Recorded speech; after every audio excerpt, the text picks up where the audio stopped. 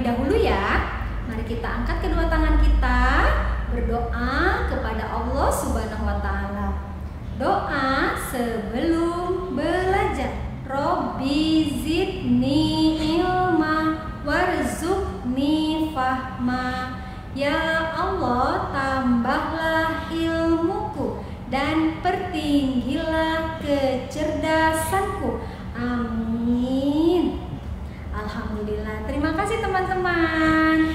Oh ya teman-teman, hari ini kita akan bermain mengenal mata uang. Nanti kita akan bermain sebagai penjual dan juga pembeli. Sebelum kita mulai, Dunia akan mengingatkan terlebih dahulu peraturan-peraturan yang ada di sentra main peran besar. Siapa yang masih ingat? Nih peraturannya yang pertama yaitu kita ke sini. Yang pertama kita membaca basmalah terlebih dahulu. Yang kedua kita harus fokus. Yang ketiga bersikap sesuai peran. Yang keempat menggunakan alat sesuai peran.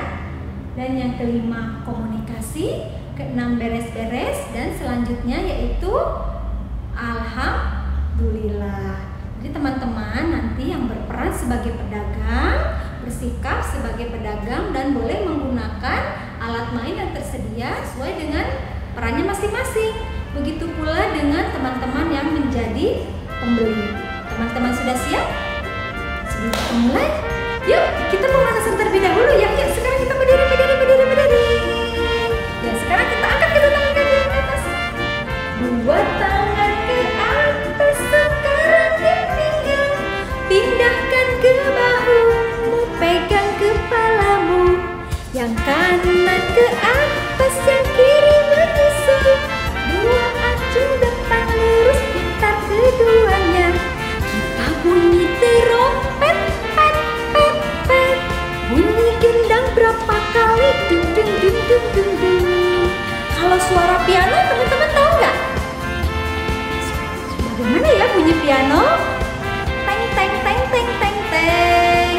Oke, sekarang kita akan mengenal mata uang dengan menjadi pedagang dan pembeli. Bagaimana caranya?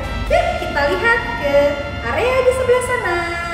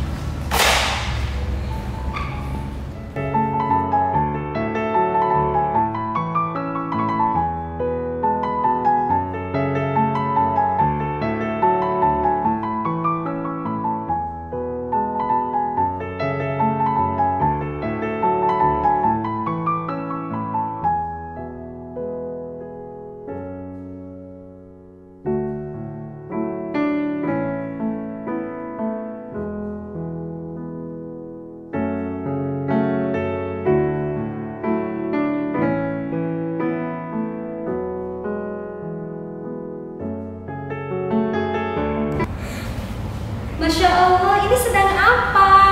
Bagaimana ya sikap kita ketika kita makan? Apakah mengambil banyak atau mengambil sesuai dengan kebutuhan? Oke, silahkan.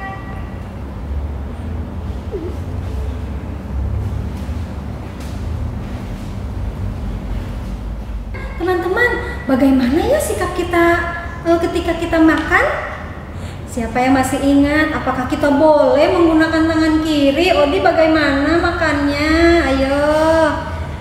Oh iya betul. Ada makan di antaranya kita berdoa terlebih dahulu, lalu menggunakan tangan kanan dan tidak berbicara ketika kita sedang makan. Oke? Alhamdulillah. Silakan teman-teman dilanjutkan makannya. Ingat ya, selama kita makan kita harus tetap menjaga dan menerapkan adab-adab makan yang biasa kita lakukan. Alhamdulillah teman-teman sudah tahu bagaimana adab makan dan ketika mengambil makanan jangan lupa ya kita mengambil yang terdekat terlebih dahulu seperti ini. Selain tadi adab makan yang telah disebutkan, ada juga satu lagi. Ketika kita mengambil makanan, kita dianjurkan untuk mengambil makanan-makanan yang terdekat dengan kita. Tetap menggunakan tangan kanan ya. Diambil yang terdekat dan dimasukkan ke dalam piring.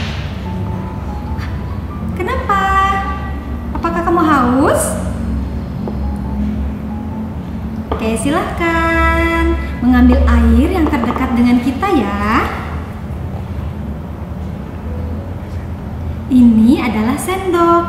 Pegangnya menggunakan tangan kanan ya. Ingat sendoknya digunakan untuk makan dan menggunakan tangan kanan. Nah, seperti ini, mengambil makanan juga yang terdekat dengan kita. Alhamdulillah,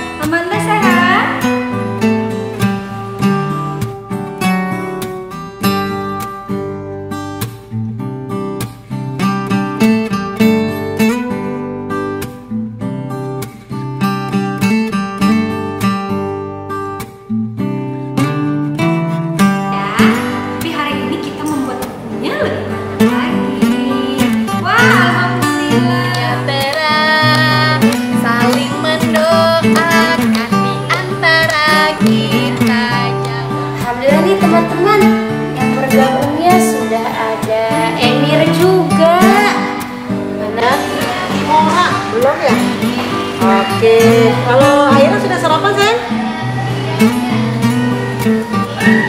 Oh sedang sarapan, baik. Yuk sambil menunggu temennya, kita nyanyi terlebih dahulu ya. Apa ya. Salah seakikut kalau sekarang Senin kemarin hari apa ya?